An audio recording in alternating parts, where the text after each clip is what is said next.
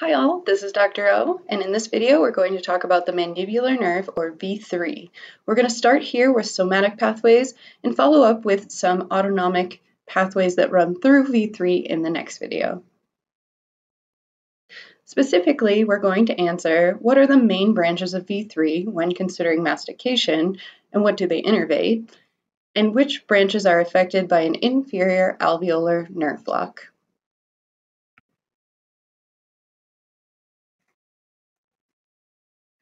Now you'll remember that V3 exits the skull through foramen ovale, and it exits then into the infratemporal fossa. There you see a short trunk as well as an anterior and a posterior division.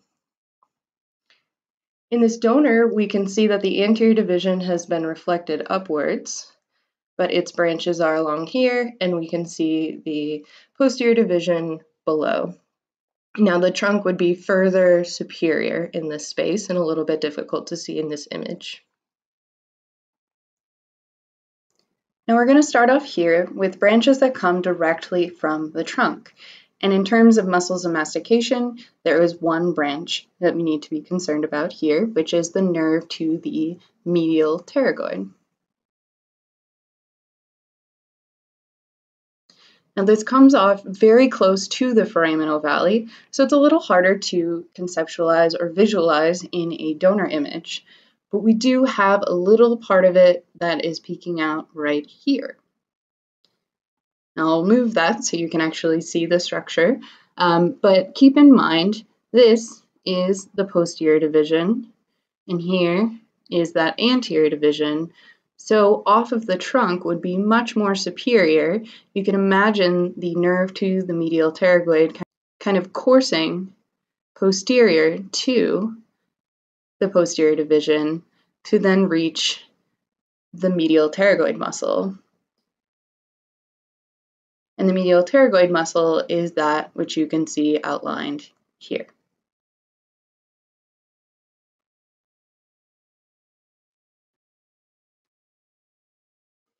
Next, let's talk about that anterior division. This is really important in terms of these muscles of mastication. Most of the branches of the anterior division are going to be motor branches going to these muscles. So the first ones we see are deep temporal, and what those look like in a donor is always going to be deep to the temporalis muscle. So we'll usually see an anterior and a posterior branch um, like we do here. Next is the masseteric nerve, and both in this image on the right as well as in the donor, you can see it's been cut because we've removed the masseter muscle to see as deep as we are in this space.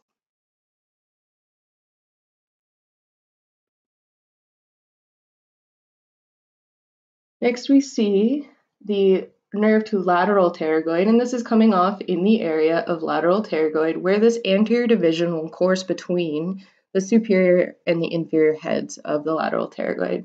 So that's what we're seeing right here. So near to that space, we see the nerve to lateral pterygoid. Again, since it's been removed in this image, we just see this bit right there. Now, after the lateral pterygoid is given off and after it passes through the lateral pterygoid muscle, then it changes its name to the buccal or the long buccal nerve. Now, this is the only sensory branch of the anterior division. And you might also see the nerve to lateral pterygoid coming off of buccal. So when the name change happens can vary depending on the source. Now let's move to the posterior division. We see one of the first branches off of the posterior division is the auriculotemporal nerve. On this image of the donor, here, you kind of see two distinct roots that wrap around the middle meningeal artery and then join together to travel up and around. So this nerve, auriculotemporal nerve, will travel with the superficial temporal artery. Now's a good time to pause and think about when you've heard about auriculotemporal nerve before. Which gland were we talking about?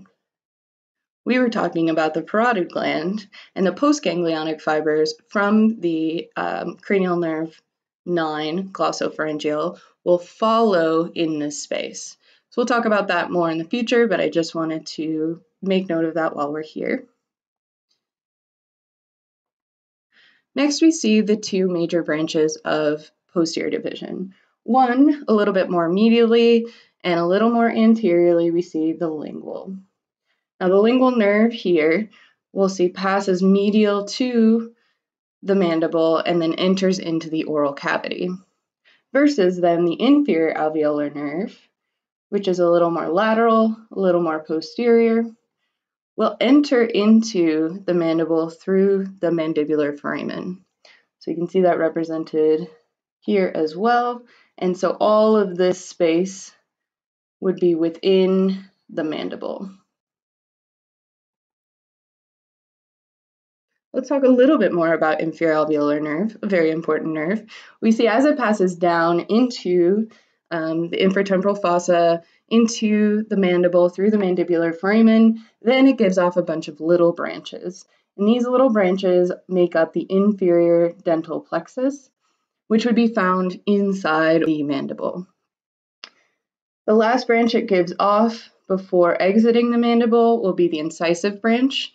Over here, we can't necessarily see it, but you can imagine it heading deep in the mandible to get to the incisors. And then finally, it forms the mental nerve. So the mental nerve is, nerve is the termination of inferior alveolar nerve. It exits the mental foramen out onto the area of the chin and is a sensory branch to the skin of the chin. In terms of an inferior alveolar nerve block, this will affect the branches to the mandibular teeth on that same side, so the incisive branch and the inferior dental plexus, as well as that mental nerve, which will lead to some numbness around the area of the chin.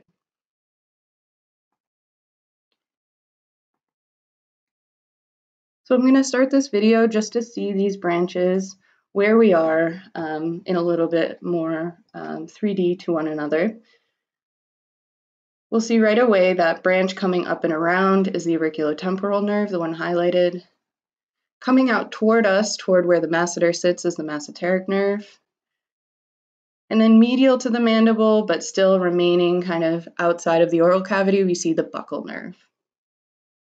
That was the termination of the anterior division. Now from posteriorly, we see those two major branches from the posterior division.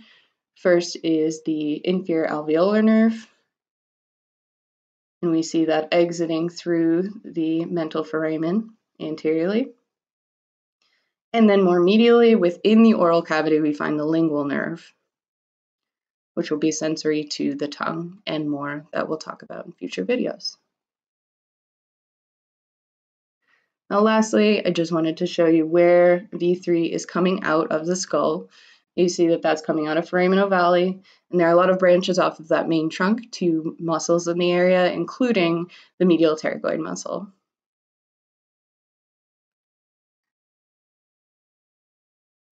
So let's take a question now. Um, so the question is, which of the following is afferently innervated by a branch of the anterior division of V3?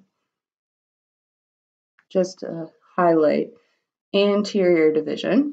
So is it the anterior two-thirds of the tongue, the buccal mucosa and posterior gingiva, mandibular teeth, or the skin on the anterior auricle and external acoustic meatus? So take a second to make your choice and then check in when you're ready. All right, so the correct answer here is B, B for buccal. So the buccal nerve is that termination of the anterior division of V3. All of the other branches are branches of the posterior division. So think about which nerve will innervate the anterior two-thirds of the tongue, sensory.